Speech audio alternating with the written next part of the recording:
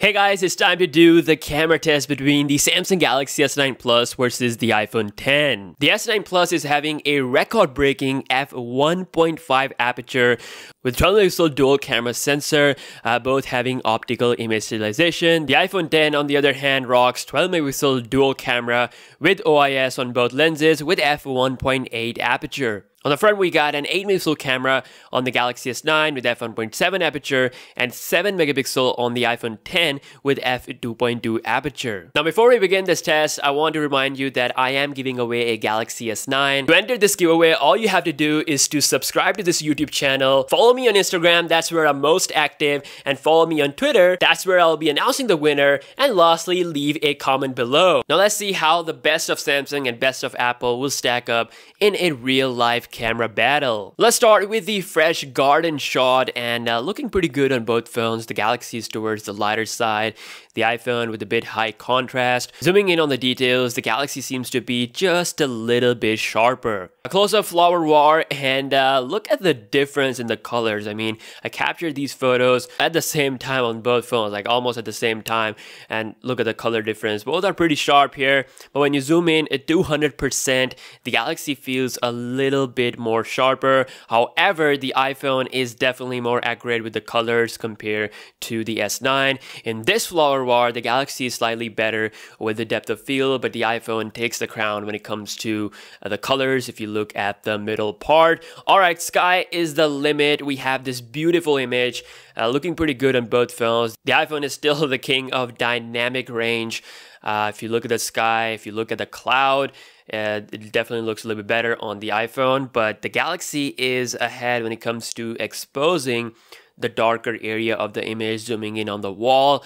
Uh, you can see the S9 Plus is clearly uh, the sharper one with the details having less grain. And if you notice the house in the far background, uh, it'll definitely look sharper on the S9. Moving on to an interesting situation where the sun was just beaming down on this house. It was so bright. And in this situation, the iPhone manages to come on top with the help of its uh, high contrast or intelligent contrast, whatever you want to call it. If we zoom in on the pink tiles, you can see that it looks slightly better on the iPhone, while the S9 is sort of losing a little bit of detail there because of a slight overexposure. Moving on to the selfie, and the Galaxy S9 does rock a selfie focus mode. Uh, the iPhone also has a portrait selfie mode. Both of them struggles with the depth sensing. It's not good at all, but the image is definitely better on the iPhone 10. The Galaxy is just too creamy and not capturing as much details as the iPhone. If you look at the background, now without the blur, you can see that the iPhone selfie is much superior here. If you look at the gate in the back and the grass, uh, details are far more sharper compared to the S9's creamy selfie. Similar situation where sun is beaming down on this plant uh, with a little bit of shadow above and uh, it's a little bit different scene than the house I showed you before. Upon zooming you can see that it's quite a lot sharper on the Samsung Galaxy S9 Plus, uh, while the iPhone is not as sharp. Another situation where I have focused the camera on the sky and both are doing okay job at first look, but when you see the darker part of the image, the Galaxy destroys the iPhone with a huge day and night difference thanks to its super low aperture. Uh, it's been able to brighten up the darker area of the image in the most difficult scenarios. Now time for some live focus versus the portrait mode war. Uh, in a difficult situation where the background is super bright behind the subject, the Galaxy feels more bright uh, with this stronger blur effect while the iPhone is doing a better job with its contrast. And and also if you look at the arm the blur on the Galaxy is washing out a bit.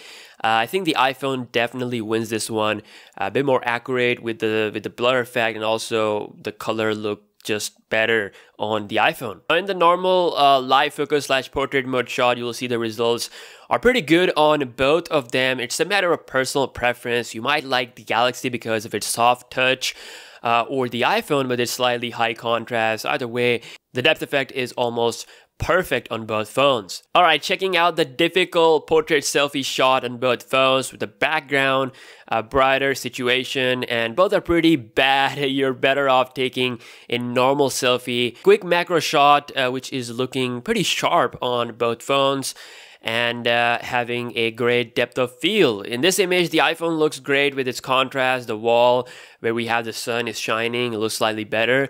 Uh, but the S9 wins when it comes to the far objects in the picture. If we zoom in at the house wall, it's definitely sharper than the iPhone. Another live focus versus portrait mode, and here the iPhone uh, is the clear winner. A quick macro shot looking great on both phones, really sharp. Again, slightly high contrast on the iPhone, uh, which makes it more attractive slash Instagram ready. But the Galaxy is also doing just fine. Another focus shot, and the Galaxy is definitely strong with the background blur compared to the iPhone. And in this situation, the brighter image on the S9 is slightly at an advantage, but it's gonna come down to the personal preference. In this image, it's your boy just chilling out, and the iPhone is clearly better one here. If you look at the whole picture, the background, the contrast and everything, uh, capturing the shadows, the Galaxy is just a bit too soft. Also, the image looks uh, sharper on the iPhone. Lesson of the day, do not take portrait selfies with another person. It's just garbage. Alright, moving on to the hard level, we got some indoor shots, looking nice on both of them, but the Galaxy is just handling the light reflection a little bit better. Next up, it's a low light room shot with your boy holding the juice, and upon zooming, you can see it's a more detail and sharper on the S9 uh, compared to the iPhone. You know, the text is much more readable. Next up is Sleeping Baby, and I like this one on the iPhone with its natural color. The Galaxy is trying hard to brighten up, and in the process, it loses the naturalness in these kind of situations. Next up, we have a normal shot of this colorful bulb and uh, looks slightly better on the S9. Indoor keyboard shot, and clearly the S9 is just so OP with its uh, background blur, f1.5 kicking in, amazing depth of field a foodie picture and uh, again this is one of the situations where samsung or you know s9 it should not try to brighten stuff up so much. Uh, the iphone with its contrast with its natural image is looking a lot better. A low light flower war and the galaxy destroys. It's truly the low light king.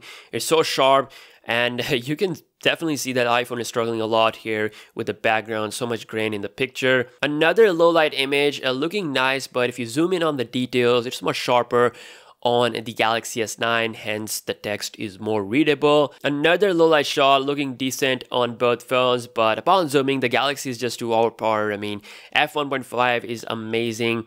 Uh, the clarity, the text is all sharper than the iPhone. You can even read the super small uh, text if you try hard. Now, a super dark, unrealistic image like no one would take a picture in this situation. But just to show you the capability of the S9, you can see if you do take a picture uh, in this situation, you can rely on the S9. With f1.5, things can be a lot brighter.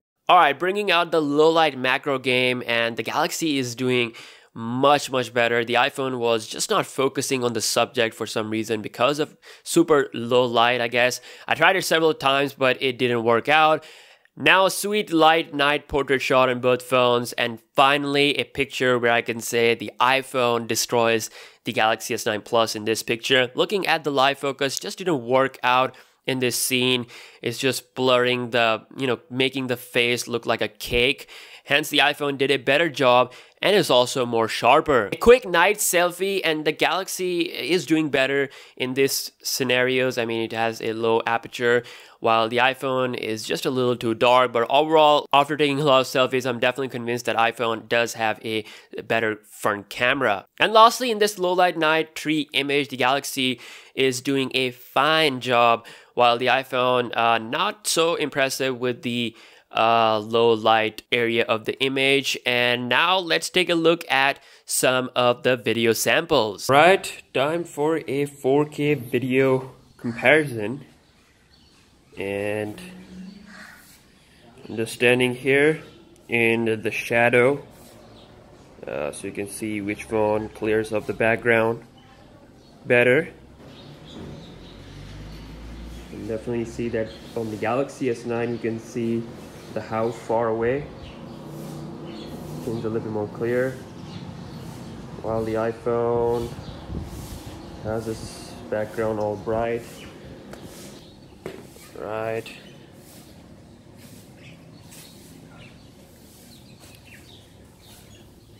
Let's do a bit of close focus.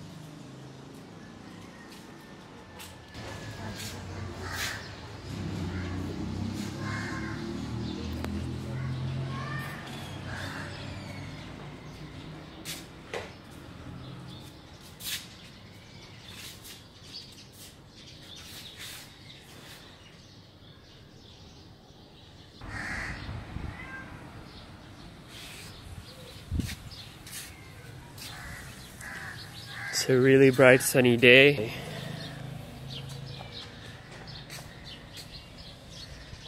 Both phones does have optical uh, zoom up to two times, so you can do that easily.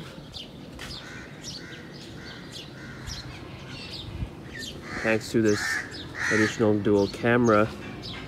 So let's see, okay.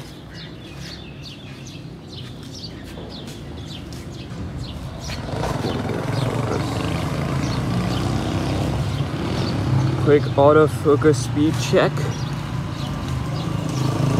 Alright. Seems like the speed is pretty quick, both phones.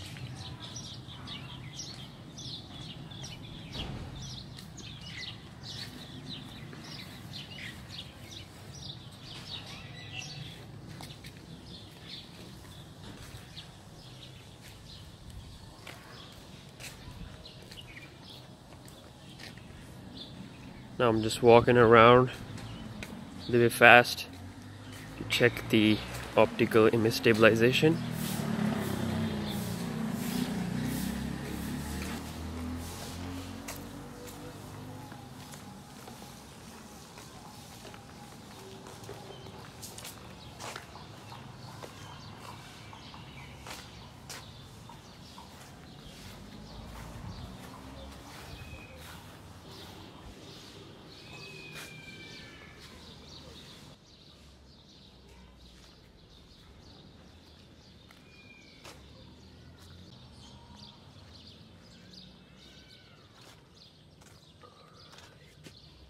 We're in the hut.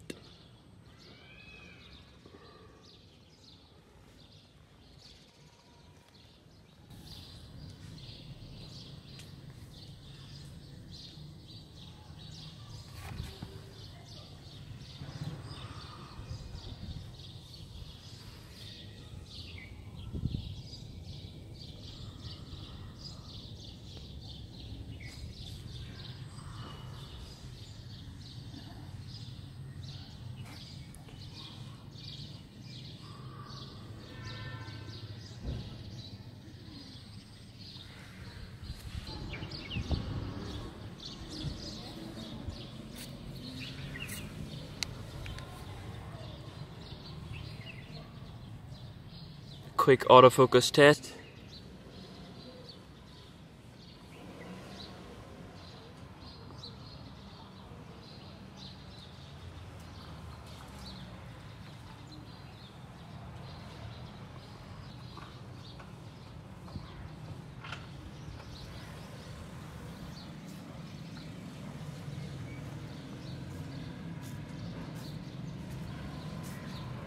So I'm focused on the flowers and you can see that the background is much more clear on the Samsung Galaxy S9. Alright, now I'm focus, focusing on the background. The iPhone is now capturing the details good. But when I switch back to the subject in front of me, the iPhone just blows the exposure and it's not clear. yes S9 Plus is definitely doing a better job there.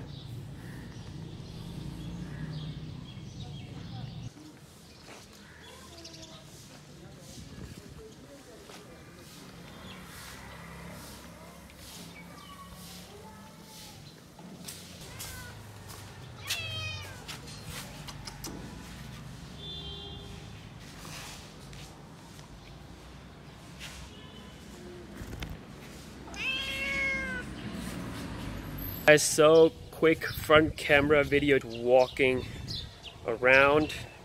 Move a little fast. Just holding the phones with my hands not using anything else. You can definitely see the uh, uh, stabilization